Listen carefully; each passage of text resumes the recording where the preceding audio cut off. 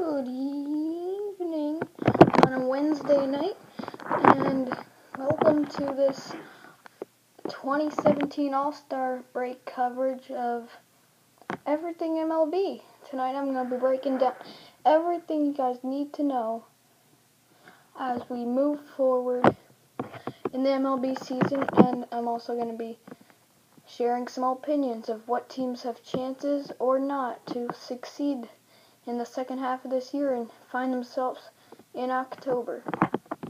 So I'll break it, I'll do a, a lot of stuff, but first I'll start going down the teams. I'll break it down by division. So, of course, we start up top in the AL East where the Red Sox currently lead the Yankees over here by a game, I mean, three and a half games.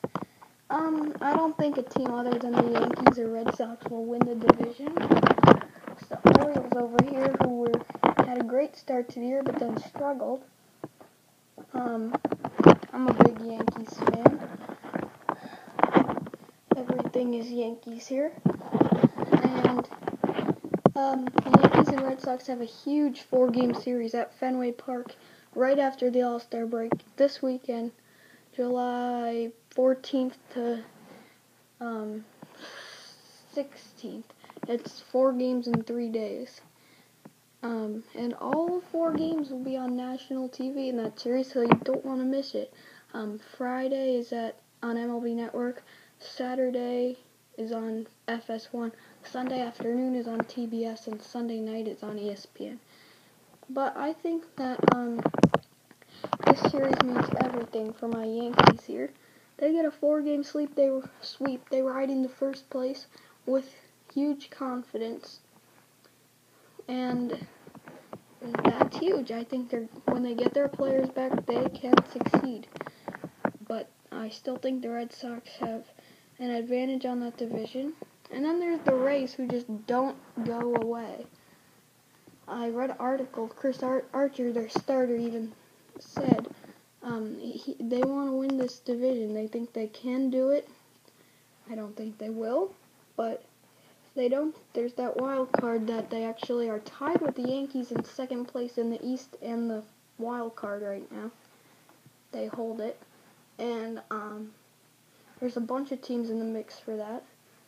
And the Orioles, I don't have any Blue Jays stuff, but um, they the O's and the J's, I think the J's have a better shot. Um, but at that wild card, or even the division because nobody's opened it up. Um, I think that the Jays might have a better shot. I like these O's though. Just always like the Orioles. But that's the AL East. We move into the Central where the Cleveland Indians are coming off of um, being like oh so close to a world championship last year. They were up 3-1 in the World Series. They ended up losing game 7 in 10 innings. Um, they're going to take the division. They finally started playing good baseball. They're around 500 all year, but they they haven't blown it open yet. But they will.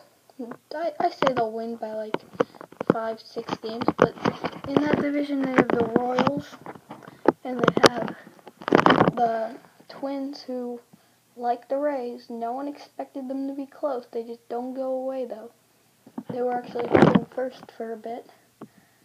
And they um, are within a game or two in the wild card. And I say the Royals have a sh- better shot than the Twins. Royals definitely are going to make a push to get into that wild card. I would imagine that the Yankees will be in the wild card game against. There's a list of teams: Mariners, Rangers, Royals, Rays, um, Indians, Orioles, Blue Jays, Rays, uh, Twins. I said some of them twice. And then there's the Tigers and the White Sox. No offense, but they're not going to do it. These White Sox, they're just a random team that's probably going to finish, what, 90, 70 and 92? 72 and 90? Something like that. just not a playoff team. Tigers and their recent struggles, um, no. No, not a playoff team. In the West, um, there is the um, thing team. There's the Astros who pulled away with it like so early. They're just so good this year. And they don't stop. So the Astros and then there's some t- three teams in the mix for that wild card. A's are far out of it now. But there's the um team, the Mariners, the Rangers and the Angels. The Angels um did their job to stay around 500 till Trout comes back. Now they could start winning and push into that wild card spot. The Mariners, I don't think, but who knows. Rangers, I thought they would be better, but they haven't. So that's great. Um, I don't think they will make it now, even though they've been in the playoffs so much. Won the West the last two years. And then we move into the National League where the Nats have dominated the NL East, so they're gonna win the NL East with ease. No one else is in really contention in that division. Um, in the Central, there's the um, what's happening? Um, the surprising Milwaukee Brewers. I a couple weeks or two, a week or two ago, I would have said definitely Cubs. Brewers are eventually gonna stop, but now Cubs haven't been good. I watched the one Cubs game on Fox Saturday the other night, and there's some spots that they're missing. And the Brewers, my Yankees just played the Brewers, stole two out of three at Yankee Stadium. And the Brewers look like they might actually be for real here. They now have a four and a half game lead. It was like about, they had like a one game lead ish most of the year. But now they've opened it up a bit. I think they're going to actually do it now. The West, the West is interesting. The Giants simply forgot how to win this year. They're the worst team. Well, I think the Phillies are, but Giants have been awful. The Dodgers have been so hot recently.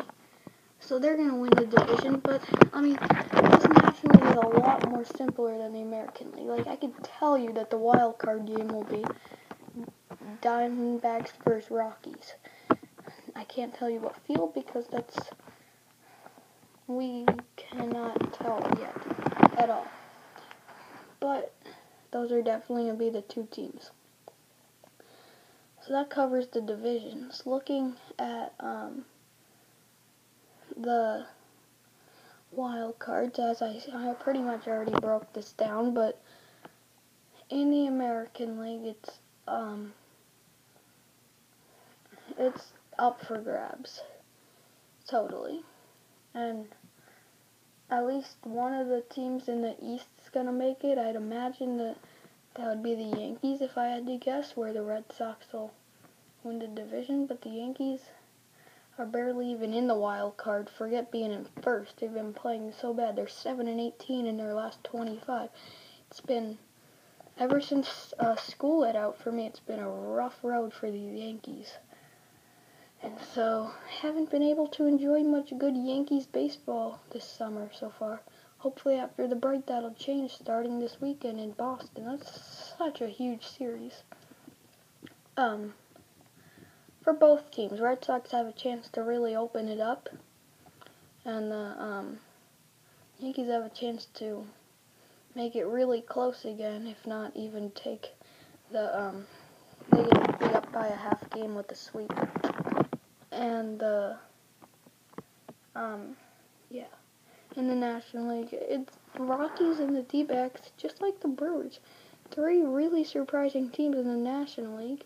And then in the American League, there's the Twins and the Rays, who were both horrible last year. No one expected anything from them. Um, and now the Twins have not gone away all year Rays have not gone away all year. It's to the point. If you are um, really close to holding a playoff spot, or do hold a playoff spot at this time of year, um, you are for real. And those teams are obviously for real. They're like plenty above 500. They're very good teams. They're gonna make it. And, um, what else do I want to do? Um, the AL won the wild card for the fifth, uh, the, um, All-Star game for the fifth straight year. And then there's my boy Aaron Judge for these Yankees who won the Derby with ease. And he's just been incredible. Yet the Yankees are still 45 and 41. They're once 38 and 23. But, um, I'll show you what, this was, um, I'm not sure how long ago this was, but, um, my, um, prediction for the, um, postseason. Alright, here it is. This is what I predicted the MLB to be this year. Screenshot that if you want to look at it. Um, that's the postseason predictions and the standing predictions. This was as of July 7th, so that was um, like a series we're like a series not caught up, but I wouldn't really change anything. Um, Boston and Cleveland really looks like they're going to have a rematch in the ALDS. Um, I think the wild card's to be Kansas City is to squeeze in um, at Yankee Stadium. But who's to pitch for the Yankees? Um, well, the Royals have a lot of surprising guys in their rotation this year, like Jason Vargas. So I think Kansas City and Houston might have an ALDS rematch from 2015. Um, and I say Boston beats Cleveland this time around. Houston doesn't stop. Boston Houston, that'll be a good ALCS on Fox Sports 1. Houston probably win it. But who knows?